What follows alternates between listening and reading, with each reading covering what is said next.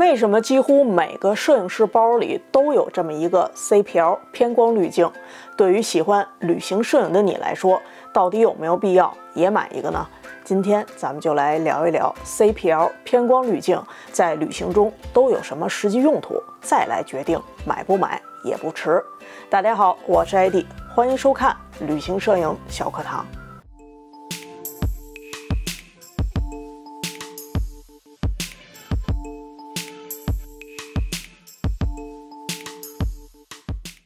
它的全名呢，Circular Polarizing Lens Filter，我们一般叫它 CPL 偏振或者是偏光滤镜。它其实是由两片镜片密封而成的，中间的东西呢我们看不到，所以并不会被相机捕捉下来。它可以阻挡一部分的反射光进入相机。使用的时候呢，就是不停地旋转前面的这片镜片，找到一个最合适的角度。那如果画面没有什么变化，就说明没有转到对的位置。在旅行当中啊，我们会遇到六种情况需要使用这个 CPL 滤镜。在拍摄油性比较大的植物时，就是这种深绿色、树叶表面很亮的植物，在阳光直射下呢，会形成强烈的反光，拍出来特别不好看。使用 CPL 滤镜呢，就可以过滤一部分叶子表面的反射光。由于树叶的朝向不同呢，所以并不能达到百分百的消除这些反光。但是绝大多数的反光呢，都可以被去除，拍出来的效果呀也会更好看。在河边或者是湖边拍摄的时候，强烈的水面反光。会让水中的倒影拍出来的效果呢不明显，使用 CPL 滤镜就可以做到过滤这样的反光，让水面倒影呢可以映射出城市的建筑或者是风景。但如果你想要保留水面的反光，比如在日落的时候，水面反射出橙色的光，那就不需要使用 CPL 滤镜了。CPL 滤镜对反射光的屏蔽还包括天空的光线，特别是在日光下的天空，想要压暗天空的亮度呢，也是可以使用 CPL 滤镜的。它不仅能让天空变暗，还可以增加对比度，让天空变得更蓝。有云的时候呢，让云的层次更明显。所以是城市风光和自然风光拍摄中使用最多的滤镜。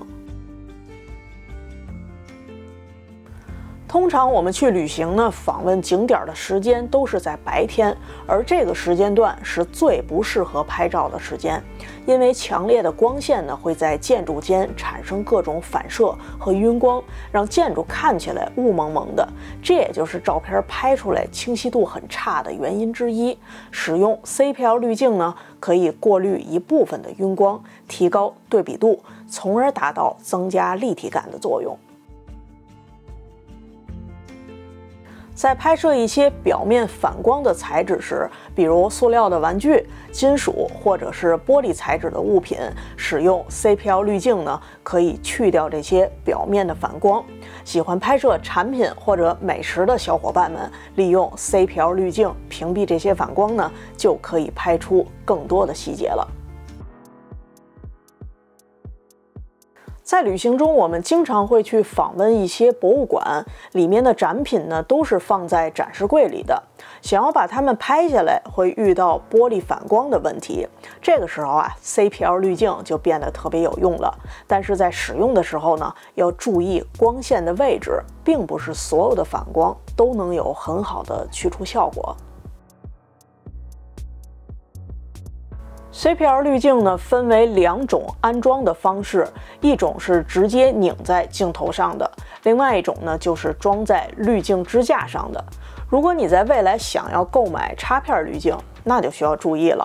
现在啊，有很多品牌，它的插片滤镜支架呢是内置 CPL 滤镜的，所以这样呢就不用再单独购买了，索性啊就直接考虑去买插片滤镜吧，省得像我这样花两次钱了。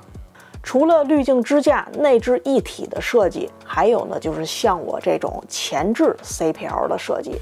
总体来说呢，拧在镜头上的这种体积小、方便携带，适合单独使用；而装在滤镜支架上的这种啊，是为了和渐变滤镜和减光滤镜同时使用。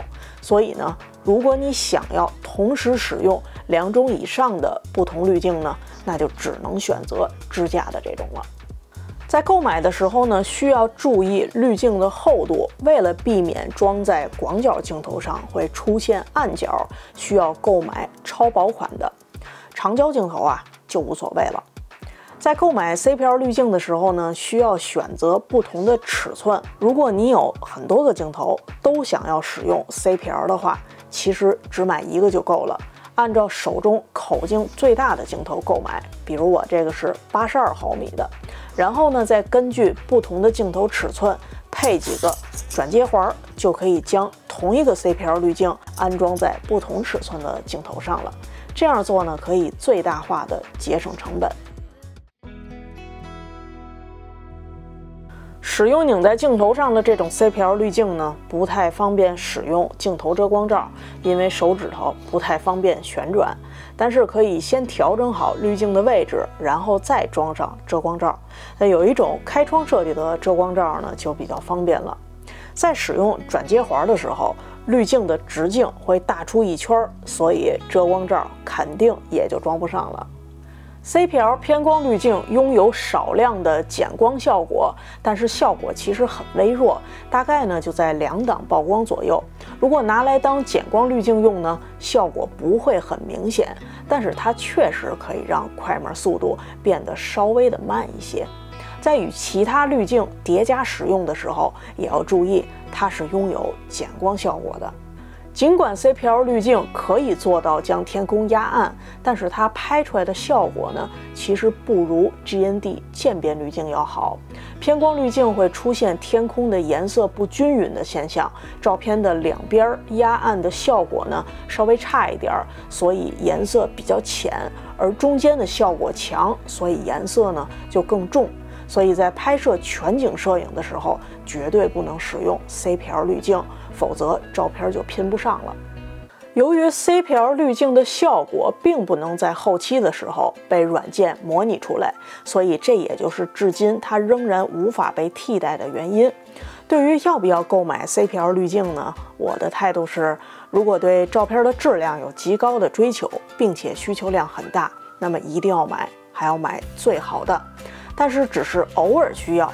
或者到目前为止呢，都还没有发现自己需要它。其实啊，就没必要花这笔钱了。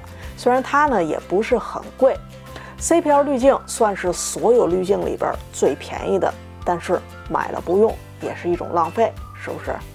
感谢收看旅行摄影小课堂，我是艾迪。如果你有关于旅行摄影方面的问题呢，欢迎在下面留言，也欢迎订阅我的频道。别错过未来更精彩的内容，我们下期见。